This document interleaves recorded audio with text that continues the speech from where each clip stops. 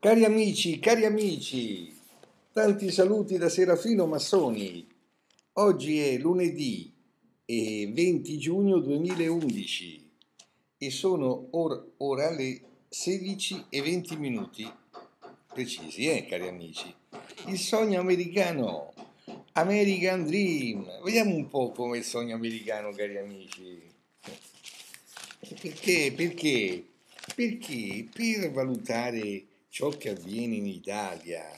E non basta fare come le comari sul ballatoio che stanno lì sempre a, spetticol- a spettacolare dei fatti del ballatoio. E bisogna conoscere anche i fatti che avvengono in tutto il condominio. E così per sapere come siamo noi, se siamo messi bene o se siamo messi male, dobbiamo confrontarci pure con gli altri, gli altri paesi del mondo. Se poi ci confrontiamo con gli States, cioè con l'impero, l'impero americano, è ancora meglio. Proviamo a confrontarci con gli States invece di stare qua a litigare, capito, cari amici? Confrontiamoci con gli States, va bene? L'impero americano, American Dream. Allora, è, questa è la stampa odierna di oggi. Eh.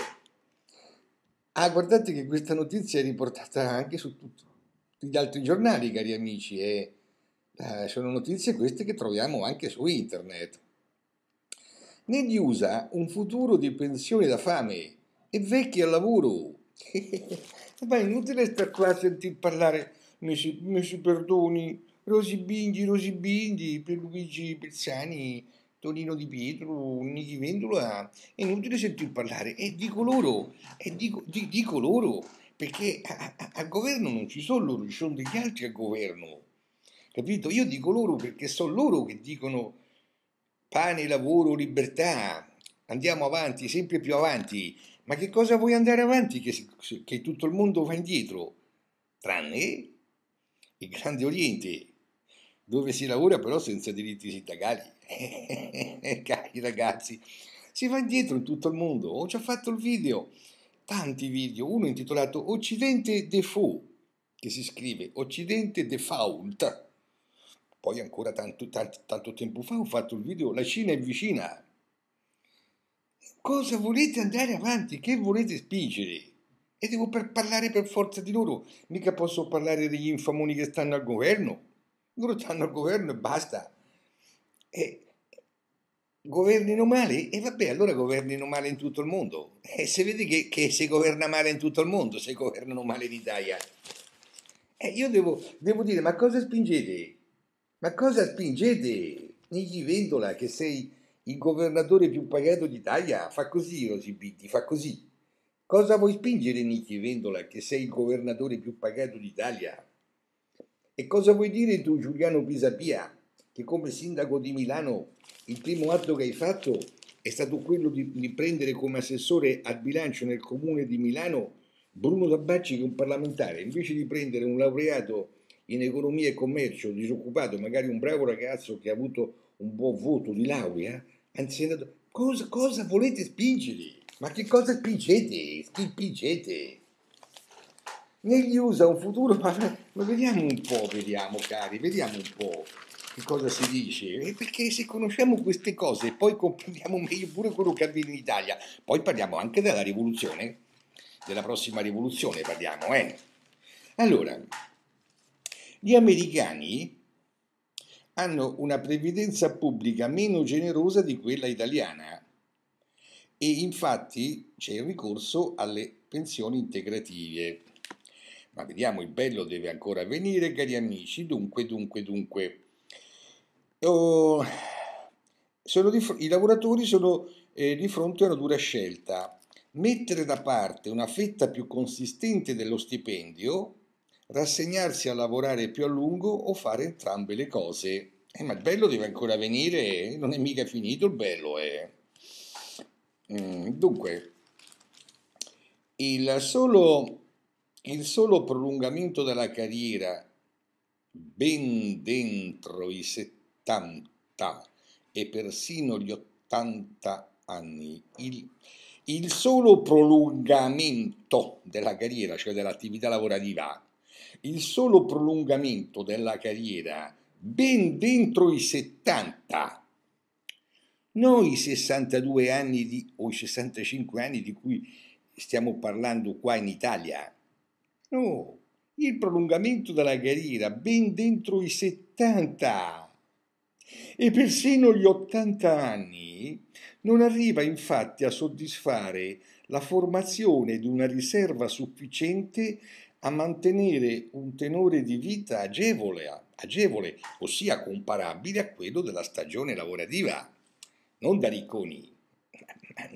Se, cioè, in pratica, se gli americani vogliono avere una pensione che sia, diciamo, vicina alla retribuzione che percepivano mentre lavoravano, devono entrare dentro i 70 anni, i, i 70, devono lavorare fino a 75, 76 e anche entro gli 80 anni. E, beh, e provare per credere, verificare, fare delle ricerche, cari amici, andare a confrontare, verificarlo questo articolo, ma ormai lo sappiamo, e lo sa tutto il mondo che negli, negli States, nell'impero, ci sono 40-50 milioni di cittadini che non hanno l'assistenza sanitaria, lo sanno tutti questo, no? anche le pietre lo sanno. Capito? Negli Stati Uniti, perché uno possa avere una pensione che possa rassomigliare un po' alla sua retribuzione, deve addentrarsi, deve addentrarsi oltre i 70 anni e anche oltre gli 80 anni, cose per noi inimmaginabili. Eppure nell'impero è così. E, e poi si, si, dice appunto che, attenzione, questa realtà eh, riguarda il 70% dei lavoratori, il 70%, il 70% è la quota dei lavoratori americani che sanno di non risparmiare abbastanza in vista del pensionamento e per cui non risparmiando abbastanza e, e, dovranno inoltrarsi dentro i 70 anni e magari anche dentro gli 80 anni. Ma guardate che io ho dei conoscenti, eh? ho dei conoscenti negli States, e eh, qualche vecchietto, più vecchietto di me, che ancora lavora, eh? ancora lavora perché l'attività lavorativa pregressa non è stata sufficiente, capito? Lavora ancora, eh? si avvicina agli 80 anni, va, va a scaricare le cassette, le cassette in un supermercato. È inconcepibile per noi, inconcepibile. Beh, ci sono anche in Italia questi, questi episodi, ma sono rari, sono rari, sono... invece qua sono comuni, eh.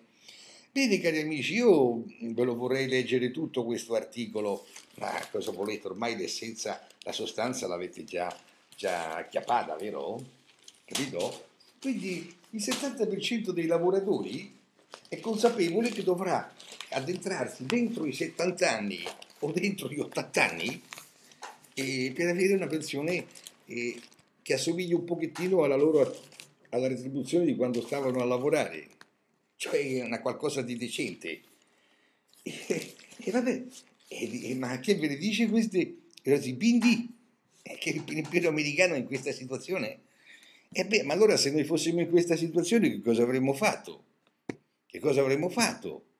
Avremmo già fatto che un'altra rivoluzione francese o un'altra rivoluzione sovietica?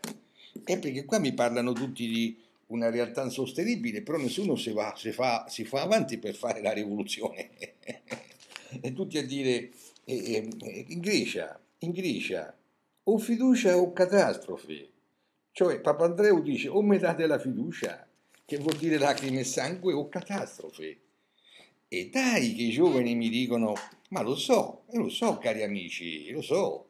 E beh, questo, questo canale in fin dei conti eh, si basa tutto sulla analisi del passaggio dal matriarcato al patriarcato, l'analisi di come nasce la proprietà privata.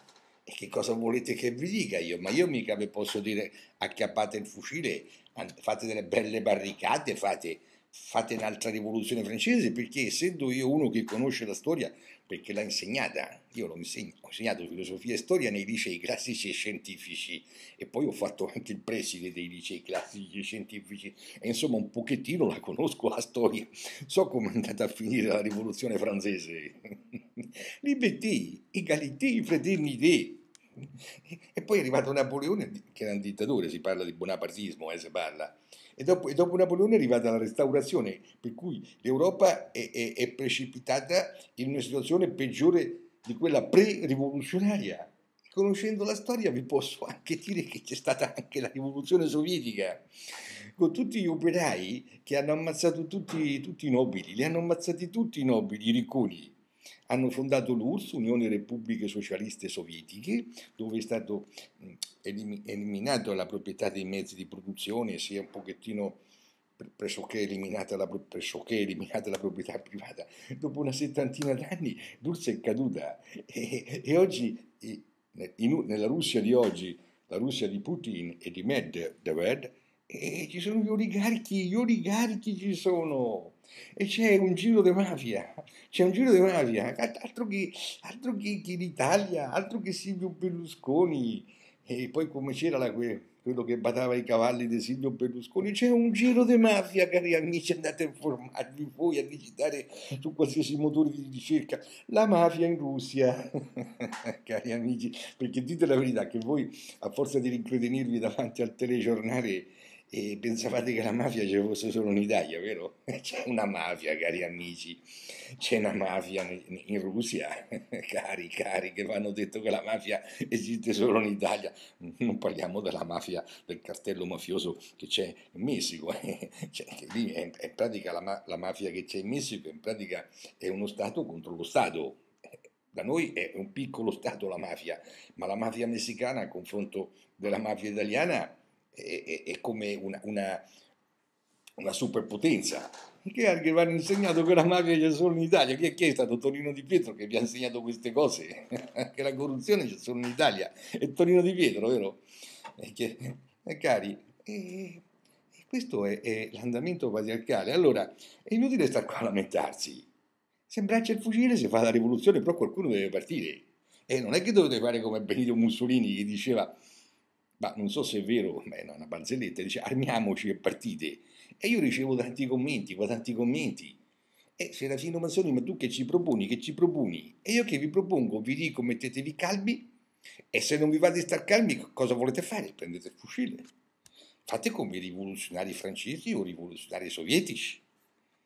Eh, eh, eh, cari, questa è la situazione, l'impero americano, il sogno americano. Si devono addentrare verso i oltre i 70 anni e oltre gli 80 anni si devono addentrare, capito? C'è scritto così sul giornale. Gli americani, American Dream, capito come stanno nell'impero? Cari, questa è la situazione, ne ho, parlato ampiamente nel video Occidente de Fu, Occidente de Fu, non c'è niente da fare. Una situazione come questa, e, e nel corso della, della storia mh, patriarcale non c'era mai stata, perché mh, in un certo senso possiamo dire da, sé, da che patriarcato è patriarcato, diciamo l'Occidente, aveva sempre dominato su tutto il resto del mondo conosciuto. Sempre, sempre, sempre.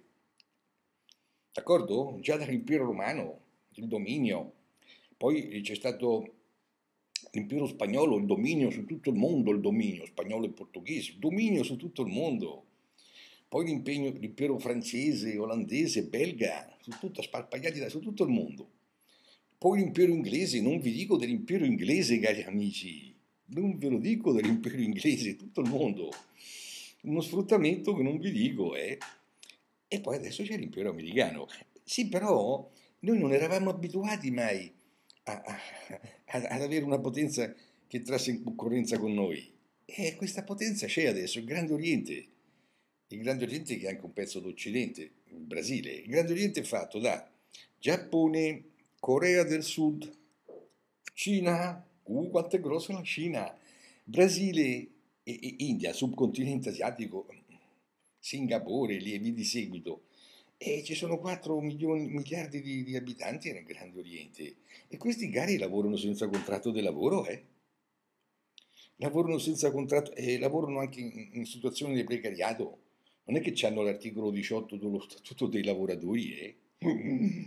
uh, in Cina, in Brasile, in, sul continente asiatico che non c'è contratto di lavoro, quello che vuole cosa lì, come si chiama, il, quella donna che comanda la CGL, non ci sono queste cose. E dai che mi dicono che non siamo noi che dobbiamo eh, regredire al modello lavorativo schiavistico del Grande Oriente, ma dobbiamo fare in modo che il Grande Oriente accolga il, il modello la, lavorativo evoluto occidentale. E dai che me, le, me lo dicono me lo, con, con, tutte, con, tutte, le salse me lo dicono e come facciamo a convincere la, la Cina, l'India anche il Brasile? Perché pure se ci sta una, una, rivoluzionaria in Brasile, pure se c'è una rivoluzionaria, le condizioni lavorative del Brasile non sono mica tanto rivoluzionarie, cari amici. E che gli facciamo? Gli facciamo una guerra? Gli facciamo? Facciamo una bella guerra. Non mi dite, non mi dite, per favore, non mi dite che, che, che no, non, l'Occidente non deve accettare le condizioni lavorative dell'Oriente, ma è l'Oriente che deve accettare le condizioni lavorative più evolute dell'Occidente. Ma come facciamo? Eh vabbè, infatti facciamo la guerra nucleare. Ma l'ho, l'ho, l'ho dette queste cose in un video intitolato eh, eh, Ipotesi Apocalisse e, e intitolato anche Ipotesi Terza Guerra Mondiale. Capito cari amici? E allora cari, che fare? Che fare? E beh, eh, guardare quello che avviene in tutto il mondo, guardare con calma quello che avviene in tutto il mondo e poi cercare di capire meglio, perché se state qua ad aspettare che certe cose ve le dicano quelli della televisione, eh, eh, voi continuerete a dire come fare come quelle donne nel ballatoio, continuate sempre a parlare delle cose del ballatoio, ma no, queste qua ormai la crisi, la crisi è, è, è, una crisi che questa non è più una crisi congiunturale, cari amici, è una crisi strutturale. Perché l'Occidente è fronteggiato alla grande dal Grande Oriente. E contro il Grande Oriente abbiamo le armi spuntate, a meno che non si utilizzino le bombe atomiche. E, e dai che qua i giovani qua continuano a dire eh, portare via i ricchi e dare ai poveri. E vabbè, è quello che hanno fatto con la rivoluzione francese e con la rivoluzione sovietica. E facciamola pure noi un'altra rivoluzione eh, francese, un'altra rivoluzione sovietica. Vuol dire che per 10, 15, 20 anni faremo fuori tutti i ricchi e dopo 15, 20, 30 anni le cose torneranno come tornarono dopo la rivoluzione francese e dopo la rivoluzione eh, eh sovietica. Cioè, come prima e peggio di prima. Intanto io devo osservare con molta amarezza eh, che, che, che, la salvezza, la salvezza, io pensavo che potesse venire da Nichi Vendola la salvezza, e invece mi rendo conto che Nichi Vendola è, è il governatore più pagato d'Italia. Pensavo che potesse venire da, da Pisapia la salvezza, invece mi rendo conto che appena è diventato sindaco di Milano, Pisapia, invece di nominare come mm, assessore all'economia nel comune di Milano un, un, bravo, un bravo, laureato, giovane laureato disoccupato, ci ha nominato, ha nominato Cosola, come si chiama quel, quel parlamentare, Bruno Tapaci Ma come se ce l'ha già il posto di lavoro Bruno Tabacci in Parlamento e tu Giuliano Pisapia, proprio lui, li prendi come assessore che tiene le due cariche poi, non le due paghe ma le due cariche, per cui se tiene due cariche o fa male tutte e due le cariche o fa bene una carica e non fa l'altra. E mandiamo la speranza, la speranza dell'avvenire. Cari, e a questo punto non mi dite, capito, eh, c'è la rivoluzione, c'è la rivoluzione indignati spagnoli, gli indignati greci, gli indignati mh, mm, italiani. Vabbè, eh, provate, qualcuno di voi cominci a, a in, uh, impugnare i forconi e vediamo come va a finire. Però ci vuole qualcuno che cominci. Eh. Io non lo so se, se i ragazzi d'oggi eh, eh, che, che, sono cresciuti insomma, nel benessere, eh, nel benessere sono cresciuti che sia chiaro, che sia chiaro, e non lo so se hanno la forza di impugnare impugnare i forconi, come ai tempi della rivoluzione francese, eh? o, o, di impugnare anche cose ancora più pesanti, che sono, solo gli operai sono capaci di impugnarle come ai tempi della rivoluzione sovietica. Cari, andate a dare una rispolverata ai miei video intitolati eh, Occidente default, Occidente default, e intitolati anche eh, La Cina è vicina, titolati anche Ipotesi Terza Guerra Mondiale, Ipotesi Apocalisse. Sì, e noi possiamo modificare le modalità lavorative del Grande Oriente eh, con la bomba atomica. Poi dopo si distrugge tutto il Grande Oriente perché eh, l'impero americano ce l'ha questa, questo potere. L'impero americano no, è pieno di debiti, eh? pieno di debiti nei confronti dei cinesi. I cinesi hanno prestato tantissimi fondi sovrani agli, agli americani e se dovesse se, se i cinesi dovessero chiedere indietro agli americani tutti i soldi che gli hanno prestati, eh, gli americani do, andrebbero a fondo. E allora per, per, per, non andare a fondo gli americani sap, sapete cosa farebbero? Darebbero uno, direbbero sì, Fort Knox eh, non ce n'è più di oro, c'era poco poco di oro a Fort Knox, però abbiamo gli arsenali, gli arsenali nucleari zeppini zeppi così. E vabbè, invece di dargli indietro i soldini ai cinesi gli, gli, diamo, gli mandiamo un po' di eh, bombe, bombe, nucleari, poi viene distrutto tutto, il Grande Oriente, e poi si fa un bel piano Marshall di ricostruzione e l'economia riprende. Non me lo dite, cari amici, che è il Grande Oriente che deve avvicinarsi alle condizioni lavorative dell'Occidente. E andateglielo a dire voi al Grande Oriente, no? D'accordo? Eh, è così. E o si accetta la contrazione, o, o si accetta la contrazione welfare, oppure si imbraccia a forconi. A voi è l'ardua sentenza, cari amici, eh? se diminuire le nostre spese, non lo sapete, io, io, e voi conosciamo tanti giovani, tanti giovani che, che vanno a fare le vacanze a Sharm el con l'aeroplano e magari fanno anche un debituccio, un debituccio, si fanno prestare i soldi dalla, da una banca lì, da una finanziaria, per andare a Sharm el Sheikh, andare a Cuba, Cuba in aereo, così come se Cuba fosse lì dietro l'angolo.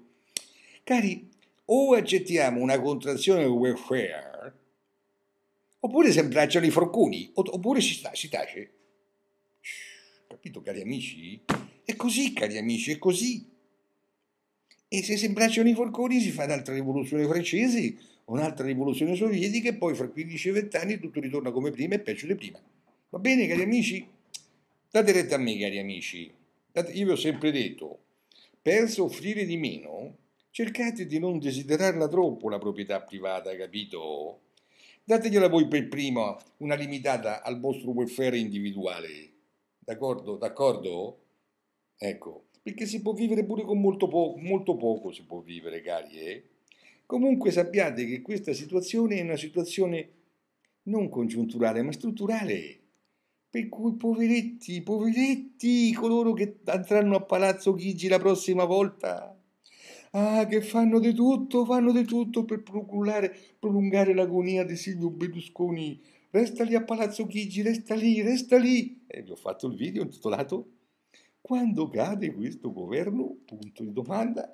E ve lo dice per Luigi Bersani quando cade questo, questo governo. Andate a vedere il video titolato Quando cade questo governo, capito cari amici? Allora, o accettiamo tutti, eh, di, diciamo così, appunto una moderazione del welfare, una contrazione del welfare, oppure andiamo a imbracciare i forconi, capito? È così che si fa a tu che sta lì bisogna fare qua pipì pipì pipì pipì. Ah no, andiamo, ragioniamoci sopra le cose. Teniamo presente la storia, teniamo presente la storia, che ogni rivoluzione ha comportato un enorme spargimento di sangue e dopo non tanto tempo le cose sono tornate come prima e peggio di prima, perché la razza dei ricchi è una razza particolare, si perpetua all'infinito, capito cari? Più ne eliminate voi dei ricchi e, po- e più loro risorgono. I ricchi sono un pochettino come, come si chiama quell'uccello mitologico che risorgeva dalle proprie ceneri, l'avete già capito chi è, no? Eh, c'era il famoso, quel famoso uccello là, ah la fenice, la fenice, un uccello mitologico, un po' il simbolo della massoneria, che moriva, moriva nel fuoco, e poi rinasceva dalle proprie ceneri così sono ricchi, più ne ammazzate voi e più rinascono loro, capito? Non c'è niente da fare, cari amici, va bene? E in patriarcato non c'è mai riuscito nessuno a eliminare i ricchi, capito? E, fate, e prendete consapevolezza della realtà, no?